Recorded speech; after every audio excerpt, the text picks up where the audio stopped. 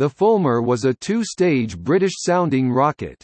The Fulmar, developed by Bristol Aerojet, consisted of a Heron starting stage with 107 kN thrust and a Snipe upper stage with 16.7 kN thrust.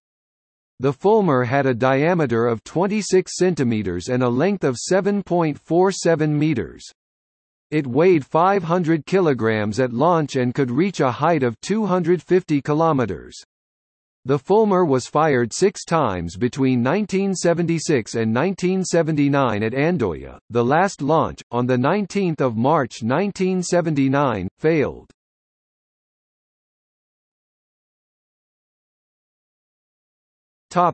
External links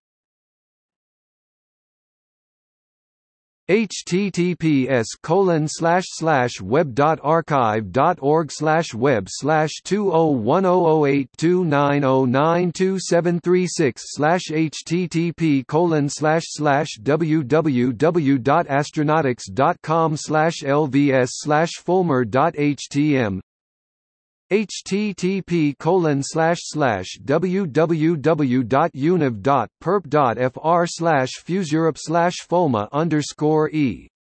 Htm